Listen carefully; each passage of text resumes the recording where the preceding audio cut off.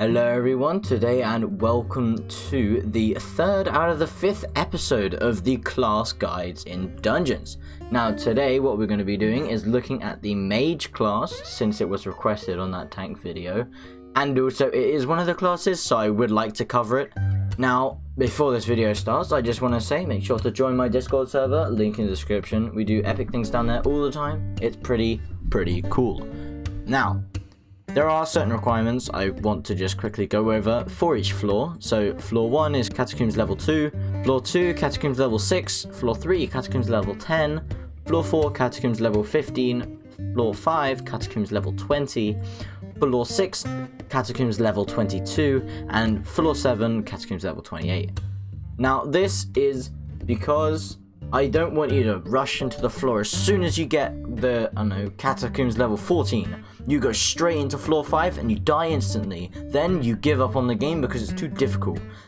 You need to grind floor 4 and below so you can get that catacombs level up a little bit before you actually start going into the floors because they can get pretty difficult as mage because you are very squishy.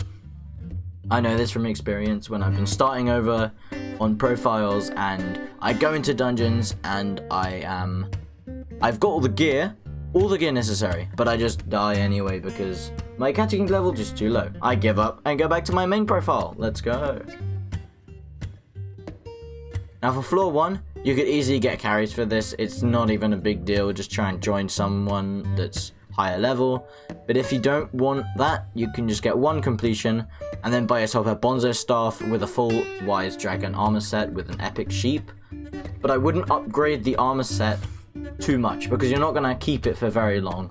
You're going to keep it for floor 1 and 2, but after that you're going to sell it for a better set.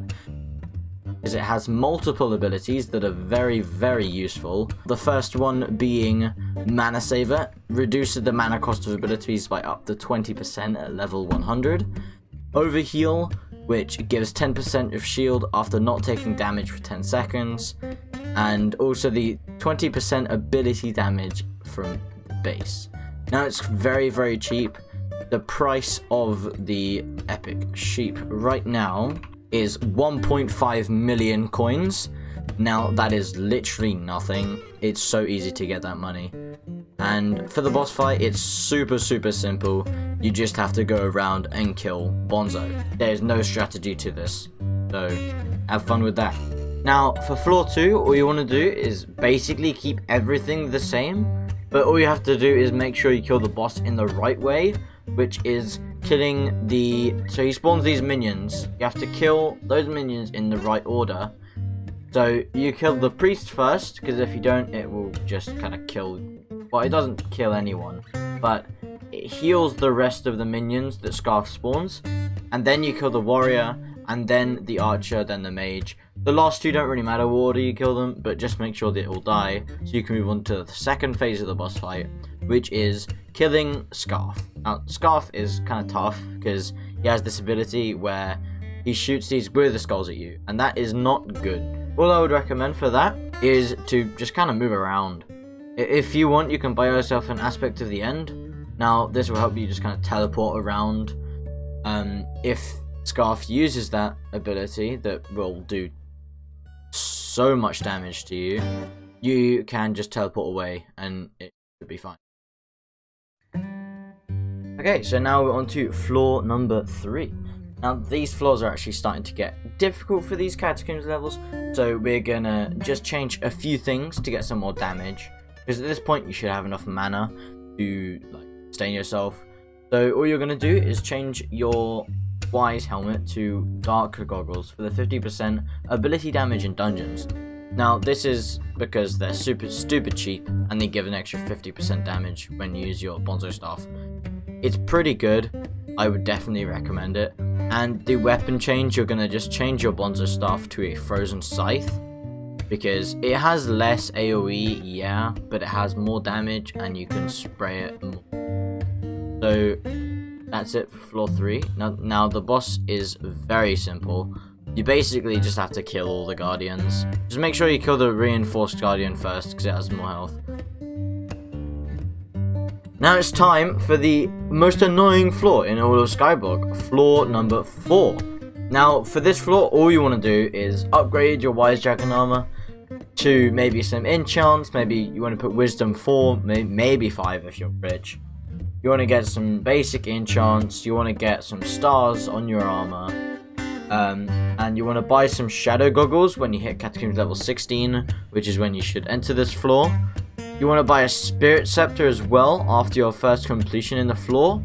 And in the boss fight, all you have to do is kill the animals and then wait for the Spirit Bears to spawn.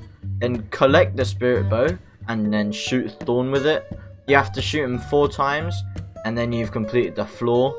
You also don't want to miss the shot because then you have to spawn another Spirit Bear. So in the run you're seeing right now, I had to I missed twice, so I, I had to kill six Spirit Bears. And yes, I know I'm using a different weapon, but this is just so it's easier for me to show it. Um, since I have a better way to clear, I will use that instead.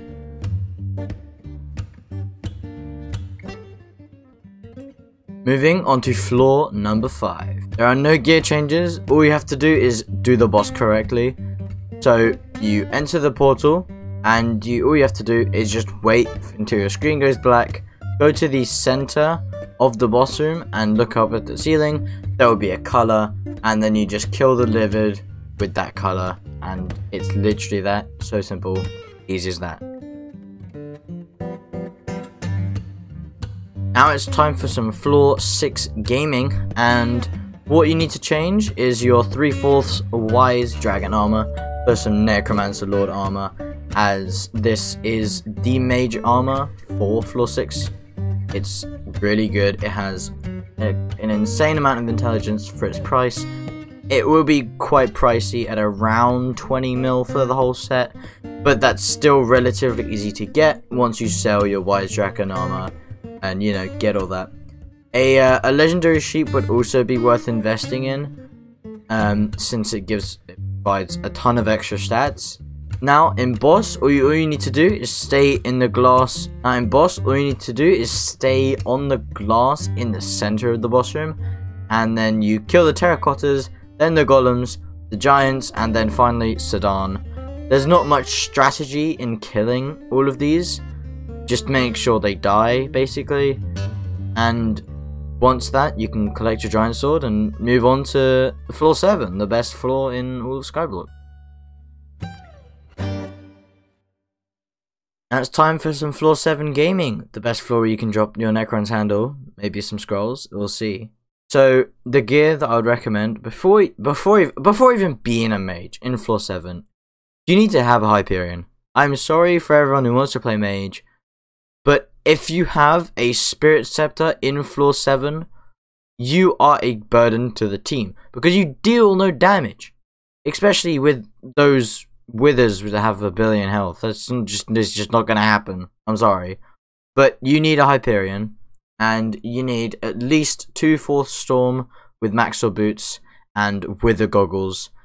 Um, that is just the bare minimum to get into floor 7 parties if you want to get fast runs, you can play Spirit Scepter and get, I don't know, 13 minute runs or something, and most of the time it's not even going to be S+. plus. So just keep that in mind. Um, I would also not recommend buying a Midas Midas staff or a or a Yeti sword because they get in the way of the archer's arrows and that can get very annoying for the archer. Now, this is because you want to consider everybody in your party and not just yourself. And I mean, that's basically it. I will make a floor 7 guide once I have enough time to, and you can find it there. I hope I I hope you found this guide useful. If you did, make sure to subscribe and like. I guess, yeah. Um, that's cool. See you next week.